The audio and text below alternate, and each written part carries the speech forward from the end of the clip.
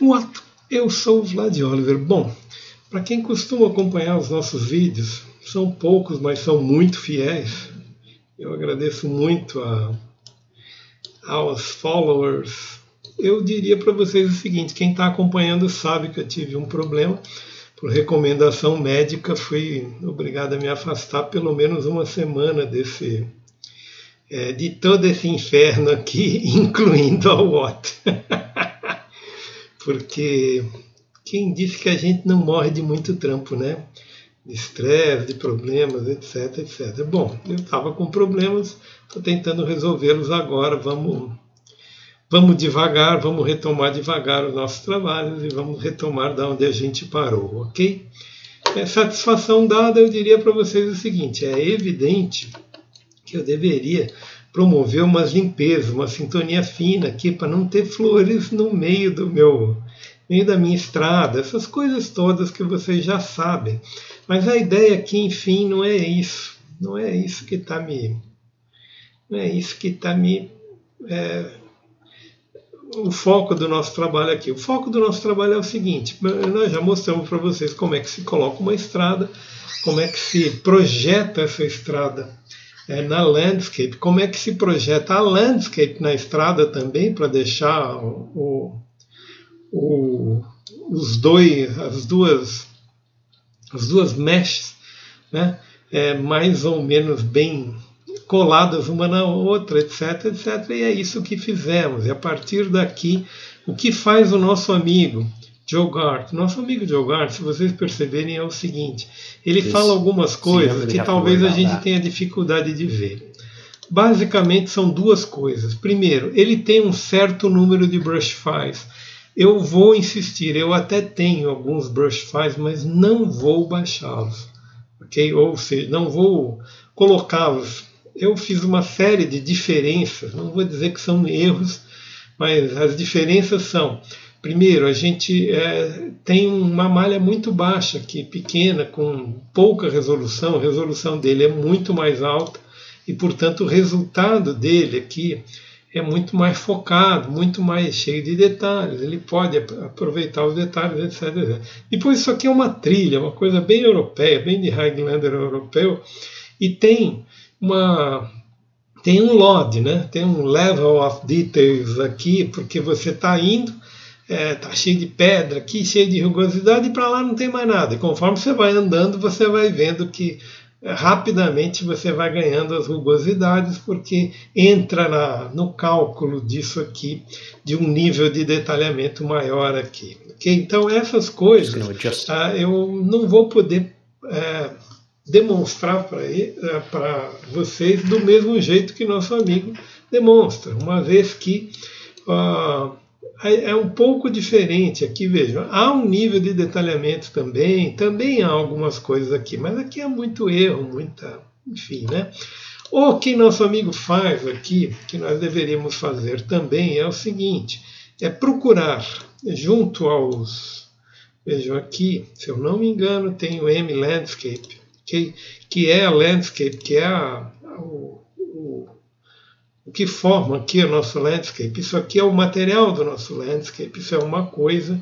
É, outra coisa aqui é, deixa eu ver, se eu clicar aqui, clicar aqui, não, nem sei dizer para vocês, Cáspita, onde é que vai as coisas aqui? Acho que isso aqui acaba fazendo parte da landscape, né?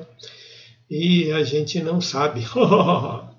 Bom, Deixa eu dar uma parada aqui, deixa eu ver o que, que eu consigo mostrar para vocês.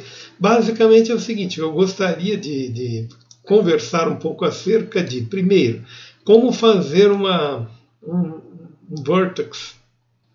Bem, para vocês verem como demora para a gente se locar essas coisas aqui, que eu tenho é vertex punk. O que eu tenho que falar é sobre virtual texture, ou seja, sobre a possibilidade de você fazer uma fusão aqui é, uma fusão.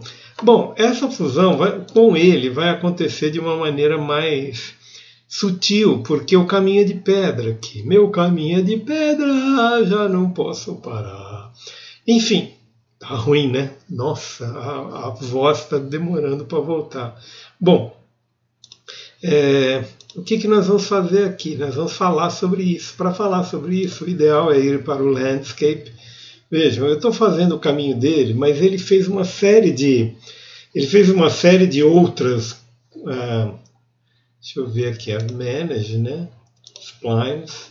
Se eu não me engano, tem. É, posso clicar aqui, deixa eu ver. Se eu clicar aqui num ponto qualquer, eu acho que eu posso ver ah, levanta isso aqui. vou ter muita fé. Non array, calma, não sei o que, não sei o que lá. Eu acho que eu tenho que vir aqui, deixa eu ver, no segment. Segments, aqui. Uma vez que eu tenho segments, eu tenho, eu tenho os, os materials. É, posso clicar duas vezes nesse materials e isto vai abrir um editor de materials, ok? Esse editor de materials pode mostrar uma série de coisas aqui. Vejam, o dele vai mostrar uma coisa completamente diferente do meu. E, portanto, não dá para saber se eu terei aqui algum tipo de, é, de é, virtual texture. ok? Provavelmente não terei, né? Mas não sei dizer para vocês se terei ou não. E nosso amigo tem a infelicidade, vamos dizer assim, veja só que praga que é você colocar um, uma janela em cima da outra e não conseguir ver as janelas direito. É que realmente isso aqui é muita tralha, né? É, começamos bem o nosso ambiente. Porque na, na condição dele aqui ele consegue fazer uma. Vejam, trevinhos de quatro folhas, nem sabia que tinha. Ele consegue fazer uma, uma fusão mais adequada disso aqui. Bom, eu não vou ficar muito magoado se eu não conseguir fazer essa tralha, ou se o, o meu material não tiver as mesmas características que o dele, uma vez que é, eu já mostrei isso para vocês, já mostrei isso para vocês no trabalho do nosso amigo Unreal Sensei. Como é que faz, como é que produz o material, como é que ativa o material e como é que é, é, você, uma vez que você tem as variables aqui aplicadas, ah, veja, acho que é o Object Blending mesmo. Deixa eu ver. Acho que sim, né? Object Blending. Deixa eu ver, se eu clicar aqui, é, eu não sei. Opa. Deixa eu ver. Opa. Não consigo fazer nada se vocês querem saber aqui. Se eu movo para frente ou para trás. É, vejam que eu tenho mais ou menos. Ah, isso aqui é interessante, cara. Veja. Nós temos mais ou menos. É, diferenças aqui entre essa, esta, entre o que eu chamaria de acostamento, né? acostamento de bicicleta. Né? Vejam que dá para a gente fazer uma fusão mais interessante. Okay? O que eu estou fazendo aqui é movendo um pouco para cima esse objeto aqui para obter um pouco mais né, de um pouco mais de blend, um blend um pouco mais adequado aqui. É diferente do vídeo dele. No vídeo dele, vejam só, ele dá, não quero dar spoiler no vídeo dele, mas vejam, tem este, este ajuste de esse ajuste se dá com o Edge Blending mesmo, vejam, mexendo no Edge Blending. Vamos fazer um pouco disso aqui, aqui também, para a gente se sentir. Então, ah, qual é o meu material? Esse aqui, que, que eu acabei de ligar? Edge Blending, né? Mas é engraçado que no meu Object Blending aqui, é, eu não tenho Global Blending, só tenho um Global que é diferente do dele, né? No dele eu tenho Edge Blending e tenho, é, vejam só, tenho Opacity aqui, Tile, Distance Tile, Object Blending. É, eu estou vendo que eu não tenho. É, o que, que eu não tenho aqui? Eu não tenho aqui as variables que ele tem aqui no dele, tá vendo? Ao dar o Object Blending, Edge Blending, você tem como mexer o blending aqui com três variáveis adicionais, abaixo do distantile, do noise, etc, etc, etc. Eu não tenho nada disso aqui, como vocês estão vendo. Eu tenho o Object Blending, tem ah, aqui está ele!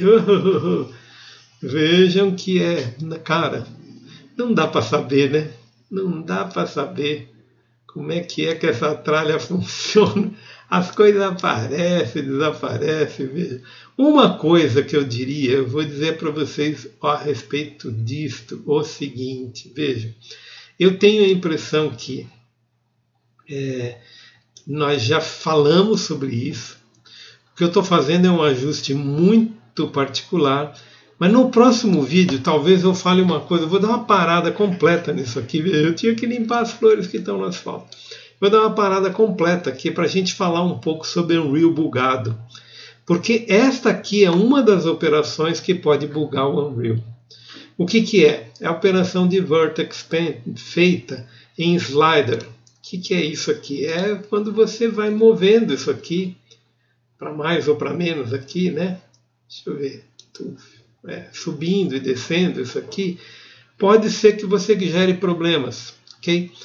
Nós vamos falar sobre isso no próximo vídeo. Eu estou satisfeito em, pelo menos, encontrar as variáveis com as quais eu precisava mexer.